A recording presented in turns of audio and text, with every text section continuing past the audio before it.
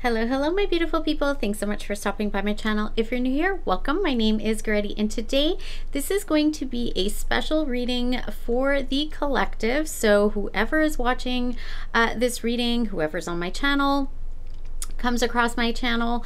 Um, and whenever you watch this, actually, it will apply. It is a general reading. It might not resonate for everybody. Take what resonates, leave the rest, swap the roles.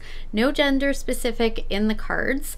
Um, I am going to do the astrology piece first because this full moon in Capricorn that we are having, it is the second one that we're having this year, which is quite rare. Um, the actual full moon, I believe, is happening on the 21st. I'm recording this on the the 19th, so we're already in that full moon energy. I'm going to break it all down for you because this is a very, very important full moon. I cannot stress this enough. This is why I'm doing this reading.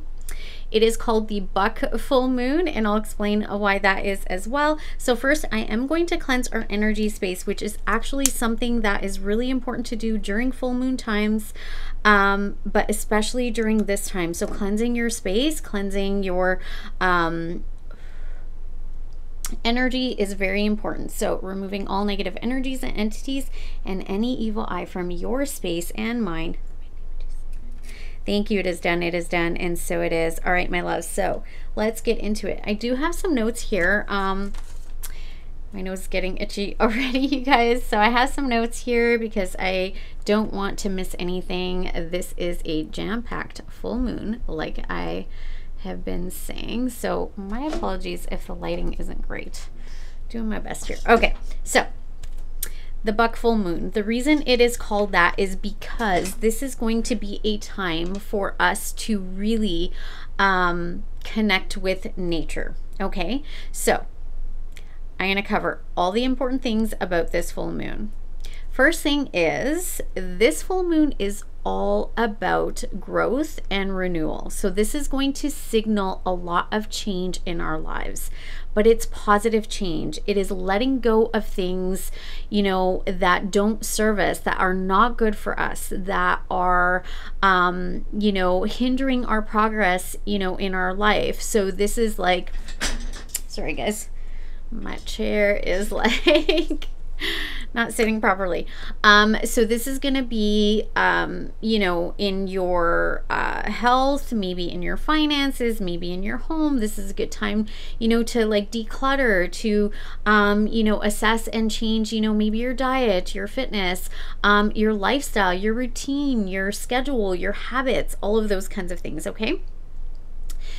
This can also bring up a lot of chaos, both in our world in our environment, in our lives, in our homes, and also within ourselves. But know that this is going to lead to order, okay? Because Capricorn is the daddy of the zodiac, right? All about rules and structure and um, abundance and stability and ruled by Saturn, which is all about lessons. So, this is also about like lessons that we've had to learn in our life. If there are things that we need to let go of that we've been doing maybe our whole lives that just isn't working anymore, um, or whatever it is that we're doing that isn't working, we need to release those things. So, amongst the chaos, this is a time to just ride the wave. This is a time where you really need to tap into that spirituality piece of you, your heart space, your spirit, you know, spending time with, you know, the divine source energy, God, the universe, and really have faith that everything is going to work out. You want to be really positive at this time, okay? And have faith and trust that you are being led and guided uh, where you're supposed to. Okay, but remember, we also don't want to tap into the ego. We really want to pay attention to our heart and what our spirit wants and not the fear. And I'll talk more about that. So, this is going to be a time of really encouraging a lot of emotional releases from past experiences and traumas and this is happening. So you might have stuff come up memories dreams uh, feelings um, you know negative things. And the reason is because and it could go back to your childhood. It could be past relationships. It could be past life experiences as an adult whatever it is. This is all happening for you to release it for good once and for all. Let it go for good because you guys know Pluto, you know, is has left uh, Capricorn going back in a little bit in the fall here in September, October, November, and then fully out for good. This is all happening for our highest good. We need to release traumas and experiences that were negative and not good for us from the past. It needs to be gone once and for all. Okay this is also this full moon is going to be a time because of that that even if you don't have actual like thoughts and visions and dreams and um you know um what's the word? I lost my train of thought uh, whatever it is that's coming up for you, just know that you might not have actual, you know, thoughts about it. You might just have the feelings bubbling up. So this is a time that you might actually be more emotional. Like all of a sudden you start crying.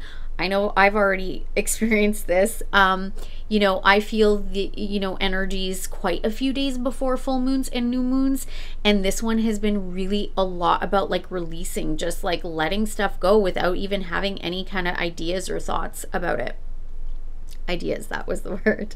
So, this is going to be a time for us to really let go of any old baggage that is heavy for us, letting go of the heaviness so that we can move forward lighter and freer in our lives. This is for us to release those things that just, you know, we shouldn't be carrying anymore. Okay?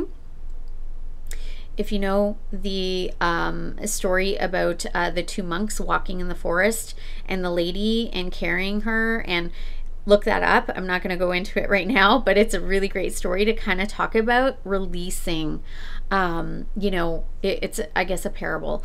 It is to release these things and no longer carry it because you don't have to carry it anymore. And it's a choice okay? So the third thing uh, to talk about is this is a time where our intuition is going to be heightened. We're going to feel things more. We're going to sense things more. Okay. We're going to have, you know, if you have any kind of gift, psychic abilities, I mean, we all do, but it's going to be heightened a lot more. So, this is a time that we don't want to listen to our fears. We want to listen, okay, to what your heart and soul wants. So, what does your heart and soul want? That's what you want to listen to, not your logical mind, not the ego mind, right? Where you know, it brings up fears because that's what's in your subconscious. That's the traumas and the past experiences we're trying to release. So don't listen to the logical mind. This is a time to really tap into your heart and soul. What does your spirit want? Okay? Next thing, our manifesting abilities are going to be really heightened at this time. So pay attention to your thoughts, your feelings, your um, kind of daydreams. What are you thinking before you go to sleep, when you first wake up, throughout the day? What stories are you telling yourself? You want to make sure that these are going to be positive.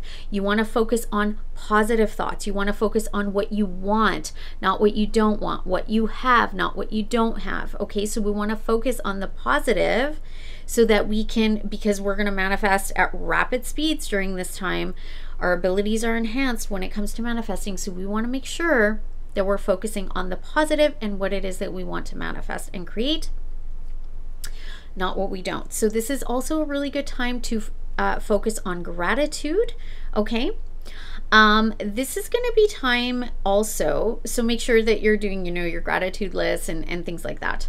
Uh, that will be really helpful. And if you do any manifestation rituals or practices, um, any techniques, any tools, things like that, this is a time that you really, really want to kind of double down on those, okay? So manifest your dreams you guys.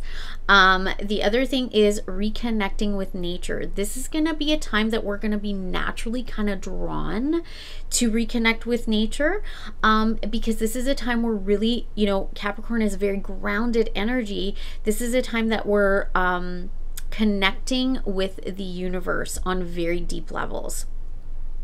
This this natural reconnection with nature is naturally going to bring a lot more calm and peace into our lives. Into our hearts, into our world. Okay. Um, this is a time that you're going to want to do a lot of grounding uh, energies. So maybe doing tree baths, spending more time in nature, tree hugging, going for walks in nature, um, you know, touching, you know, plants and trees, walking on the grass barefoot, sitting on the grass, going, you know, to the beach, spending time near water. Anything that where we are connecting to nature is what we want to really be focusing on at this time. So, nature walks spend a lot of time in nature during this period of five to seven days. So from the 19th to like the 25th, 26th, this is a time that we really want um, to connect with nature because it's going to be very healing. Uh, you want to do it during, you know, with silence. So even meditating or just being in silent and just like really connecting to nature and enjoying that time. This is really going to ground you and going to bring in a lot of healing. Okay, so a lot of healing and grounding. Now, my suggestions this is going to be a really great time for us to meditate and release a lot of negative energy, negative beliefs, negative thoughts, anything that is negative within our mind, body, and spirit. It's a time for releasing. So it's a great time to do a lot of meditation, okay? This is also a really good, great time for cleansing, cleansing our home, right? Cleansing our energy space, uh, as I just did, cleansing our body, right? Cleansing our mind. So you want to really focus on cleansing at this time. This is also a time, like I said, med- or uh, manifestation practices, also prayers. This is a really great time for praying because miracles can happen during this time. I just got spirit chills on that. Journaling is another good thing to do during this time. Journaling can get our thoughts and feelings out. Uh, it's also something I do uh, for manifesting. So, scripting, uh, if you do that, this is a really great time for us to, you know, kind of get it out there. And anything we want to release as well, it's a good time uh, to write down. If you like using crystals, if you work with crystals, this is a great time for us to put them under the moon so that they can cleanse and recharge. Also, if you want to create moon water, this is a really good time to put water out under the moon um, as well. All right, my loves. So that is everything I have in regards to the full moon and the astrology. Now let's get into the reading. I've already pre-shuffled the cards. I will cut them on camera though. All right, so for the collective, um, courage at the bottom of the first deck. I find the inner strength to face fear with confidence. You guys, literally this is you know when we're going to have to face that fear. Um, this is you know a time for us to have courage bravery to face those fears um, and to be able to release them because to release them we do have to face them. But this is a time for us to have the courage to finally let those things go once and for all because sometimes we hold on to old experiences you know beliefs um, traumas things like that because it's comfortable because it's what we know, it's familiar. So, this is having a courage for us to face our fears and release them. All right, my loves. so, bottom of the deck, we have pride.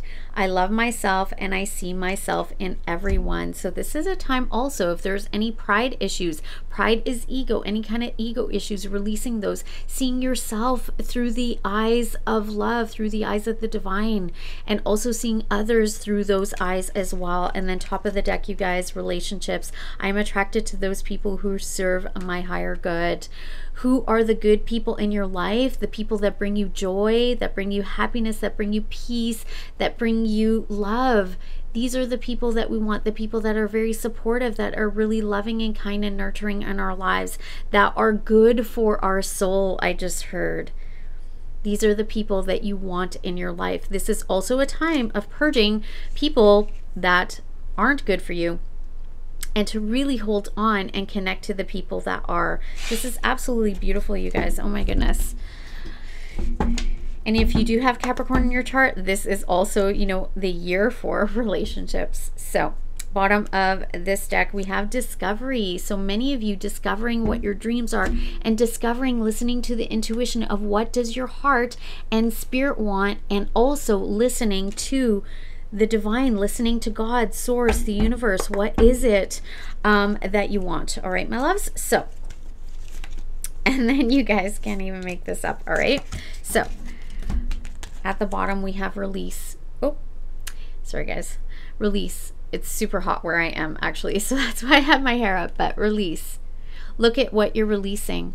Things that are dead from the past. The past is old news. It's dead, anything, uh, you know, that no longer serves you from the past. Look at how, you know, this person looks in this picture. What I saw was fear. So releasing fears, releasing the past, releasing traumas, releasing what is dead and gone, what has already happened. Let it go. Release these things, okay? And top of the deck, both these cards came out balance and expansion. So, this is a time for us to really kind of balance our lives and also for us to expand our horizons, but also expand ourselves spiritually, expand ourselves, you know, when it comes to family or connecting with others. Maybe it's, you know, uh, like I said, spiritually, right? expanding our awareness, expanding our knowledge, um, and expanding, you know, uh, our energy. I just heard as well when it comes to connecting to, you know, source energy, the universe, the divine. Okay. Um, but what I'm getting with this is also you're bringing things into balance. This is also like the justice card. I'm getting karma is coming in to kind of bring in things and expand your world in a positive way. All right confirmation there with the itchy nose. Sorry, guys. so, bottom of the next deck, you guys can't even make this up. We got card number 32, which goes down to a 5. 5 is all about change. That's what this full moon's all about. Conquer fear. Conquer your fears, you guys. This is a time to release the fear. I am telling you. Most fear is based on illusions. Fear is not real. It is false evidence appearing real, right? On truths we deny, to avoid change. Release your need for control and perfection. Doing your best is plenty. This is a time of authenticity. This is a time for us to really accept ourselves and others fully. All right, my loves. What else do we have? Oh, you guys, this is so beautiful. Practice self care was there too, but we have card number 20 share your light and a beautiful butterfly there. This is talking about transformation. This is a symbolic death and rebirth. There is transformation within you, within your light, within your soul, within your heart. Share your trials as well as your triumphs. Your stories benefit you in the telling and others in the hearing, spreading the light of transformation. So this is telling, you know, your story to other people to help. This is sharing with others. This is not holding on to things and trying to do it all on your own. This is a time for us to really shine and share our light with others, okay? And that means sharing our difficulties. Maybe it's going for counseling. Maybe it's, you know, talking to friends and family or somebody that, you know, you trust and feel close with. Sharing with them, them sharing with you. You know, I do this with my clients, you know, uh, as well in my counseling practice, and this is part of the healing process and then top of the deck 43 which is a 7 which is all about luck. Love all.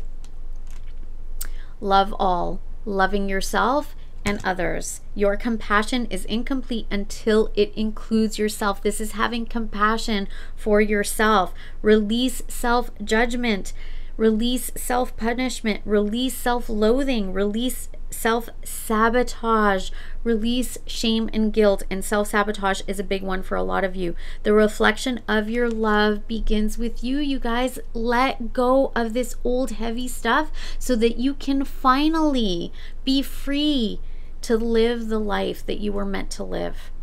All right, my gut, my guys, my loves. Woo! I was preaching there. Spirit was coming through loud and clear. Okay, so I had pre shuffled the deck. I was going to shuffle it again. Spirit told me to look at the bottom of the deck Temperance. All right, this is balance, this is healing. This is the divine coming in, your angels, okay, to balance things out. Also, alchemy, okay? And underneath that, we have the high priestess. That is the knowing, the all knowing. That is your intuition, connecting to your intuition, all right? Finding balance and connecting to your intuition. So, let's see what the reading has for us. the moon at the bottom of the deck. You can't even make this up. So, this is during this full moon. This is about fears, illusions subconscious mind, releasing these things. You guys, I just got spirit chills on that. And then we have Page of Swords. So this is like new information. Um, this could be new insights. This also could be somebody has their eye on you or you have their eye your, your eye on somebody. This could be incoming communication as well during this time. And then we have the Two of Cups. Oh my goodness, you guys, this is the bottom of the deck. This is what you don't see coming or what is in your subconscious that you might be manifesting. Ten of Cups. This is the happily ever after. This is the family. This is the everything. This is the relationship, the health, the the money, the home, their career. So some of you could be getting like new insights, new information that leads you to this as well during this time. And you guys, the Empress, oh my goodness. So you could be dealing with a divine feminine, or this could be you, or this is talking about creating, creating your dream life. And for others of you, this could be, um, you know, maybe you have your eye on an Empress, or an Empress has their eye on you. And then we have the Sun card. This is illumination. This is happiness. This is joy you guys i'm also getting with the sun. This could be uh lionsgate 8-8 portal. So something is going to shift during this time this full moon that is actually going to complete during lionsgate uh it is going to bring you so much happiness and bliss you guys and knight of cups. So this is you going towards what you love or who you love or somebody coming towards you offering their cup of love um or vice versa and king of wands. Okay so somebody could be a fire sign and King of Swords. Somebody could be an air sign, or this could be you or this other person embodying both, or you guys might have some options. Eight of Cups, walking away from what no longer serves you, and the Strength card, courage and bravery over what? Nine of Swords, fear, sleepless nights. Okay, you guys, let's get into this. I only have a few minutes left to go through this reading. Oh, you guys, you can't even, can't even make this up. Oh, oh my God. Okay, you guys, I gotta stop pulling cards. Too many. Center of your spread. Ace of Wands. Passionate new beginning. This could be you really connecting to what you're passionate about. Remember I said what your heart wants, what your soul wants, what your spirit wants. Okay, this could be creativity as well. What we're aware of is the Eight of Wands. The Eight of Wands is communication. So this could be, this is also, um, so it could be fast communication, fast movement. Some of you guys could be moving or traveling at this time. This could be uh, something finally starts moving in your life. This is also my arrows of desire. So this could be what you're manifesting. You're putting putting your uh, order out into the universe. Okay. This also could be um, passionate communication because it is one so it could be passionate communication. This used to be like the cupid's arrows okay? So that could be happening at this time. In the recent past we have knight of swords. Somebody could have run is what I'm getting but also this could have been something moving very quickly. Also this could be really clear communication or this could be fast communication happening what you're not aware of is the Four of Wands. This is my 1111 card, you guys. I just got spirit chills. Uh, this could be a twin flame connection, or this could be just a journey. Even uh, twin flame could be within yourself. If you resonate with that, you don't have to. Again, this is about a home and celebration. So somebody, uh, some of you could be moving homes. Others of you, this could be about a commitment. What you don't see coming is that uh, this could be you, you know, creating this family, moving towards uh, a higher level level of commitment, creating this family, moving, you know, homes, uh, moving in together, you know, taking your commitment to the next level, whatever this is, or this could be peace and harmony even within yourself, masculine and feminine energies, balancing out those both. Okay, sorry guys for the focusing there. What you are, uh, what what your advice is, what spirit is asking for you to do. We have the death card. Now, this is not a death. This is talking about a symbolic death, an end to the past, negative fears, any kind of toxicity, toxic energies, traumas, experiences, anything that no longer serves you, self sabotage, all of those things, right? W- old ways of doing things, old ways of thinking, old ways of feeling, those have to go. There needs to be a death a symbolic death and a rebirth. There has to be a transformation. Spirit is asking for you to put an end to those past things once and for all for good so that you can transform and there could be a rebirth. All right. So, what do we have here? As your potential outcome, we have the Ten of Swords. Now, this might seem scary to you, but Ten of Swords, tens are all about completion. This is talking about any pain and suffering. Anything that has caused, caused pain and suffering in your life is coming to completion. It is coming to an end. Next to the death, pain and suffering, backstabbing, lies, deception, whatever it is, whatever 10 of swords, any burdens, you know, whether this is relationships or health or money or situations, whatever it is, this is all coming to an end. Spirit is asking for you to transform, but it starts in your mind. Clarifying this, we have the Queen of Cups. This is that love and compassion. The Queen of Cups is really um, loving and nurturing and kind. She's also the counselor, right? She also is very intuitive and empathic. So this could be you really connecting to maybe a counselor or somebody who is like this and really trusting and and um, getting that help to be able to put you know the pain and suffering to an end. We have the star card. The star is about healing during this full moon here. This is going to be a time of healing, but also this is wish fulfillment. So for some of you, you could be ending a painful cycle with someone who is a Queen of Cups energy here, male or female. Remember, swap the roles, take it how it resonates. We all embody both energies, right? Could be your wish fulfillment here, putting an end to a painful cycle with this person, possibly somebody who rejected you or that you rejected them, or you feel or they feel like this was a missed opportunity. This opportunity, the Ace of Cups, this is a brand new opportunity for love or creativity. Look, she is holding the Ace of Cups. This person has their heart open to you. It is safe for you to take that from the universe because it is an offer coming in from the universe, from the divine. And now you are seeing this offer. So, again, spending time in nature, okay, meditating. Those three cups that have spilt over, forget those and only look at the one cup, the Ace of Cups that is in front of you. All right, my loves. And Further clarifying, we have the Ten of Pentacles. You guys, this is your legacy. This is the everything. This is wish fulfillment. This is contentment. This is you feeling really fulfilled in your life. This also could be, um, you know, about money because we do see uh, the money here. So this could be like sudden wealth. This could be, you know, finally, you know, money and everything going well. Whatever your wishes are, relationships, money, anything tangible, this is having it all and then the world card, you guys. This, I just got spirit chills. We are completing painful cycles. It is done. The painful cycles from the past is done. And now we are starting new, right? This is starting a new cycle and it is going to be successful, bring you a lot of joy and fulfillment.